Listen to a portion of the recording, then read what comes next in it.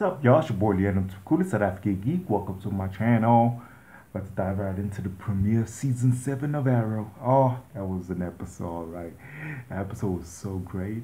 Then they ended off on some other cliffhanger twist type of situation. It was phenomenal. All of his experience in prison was, was as gruesome and daunting and as, you know, rough as you want it to be. Know that he's with all the people he locked up. You know what I'm saying? At the end, he ends up being like, you know what? Fuck this. Removes all the boy and goes ham. He said Oliver's gonna do something that's gonna piss us off, or he hopes pisses us off. He didn't really piss me off. I understood why he did what he did. He explained why he did what he did, and you understood why he hated not doing what he wanted to do at the end.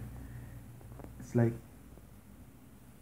it's like he had a mixed bag a situation that he was stuck in. Like he had to let this dude get beaten, you know, but he knew he wasn't gonna die. But at the end, he ended up showing them that y'all mess with me. Oh, you should have killed me. You know what I'm saying?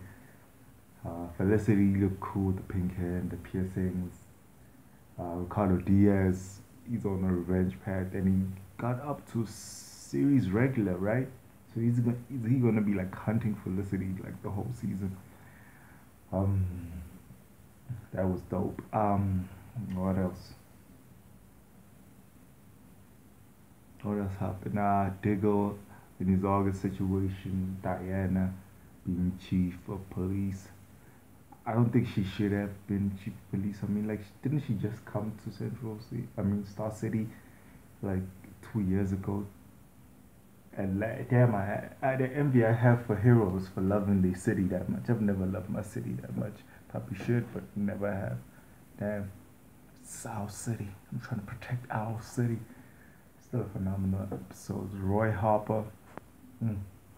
Mm. I wonder if he's playing future him the whole time. And is it William under the Green Arrow hood?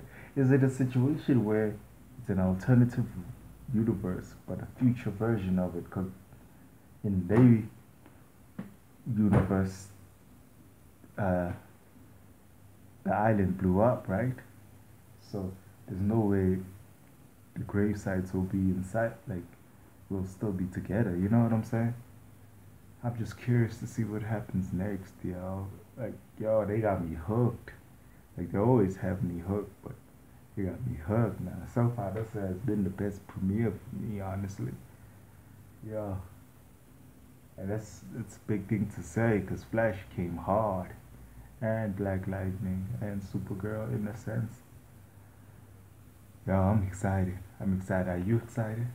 Are you excited? Yeah, I'm excited. Wild Dog situation was also interesting.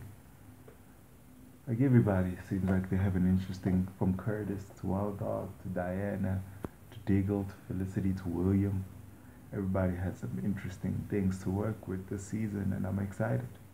Yeah, I give it like an 8 out of 10. It was a good premiere, y'all.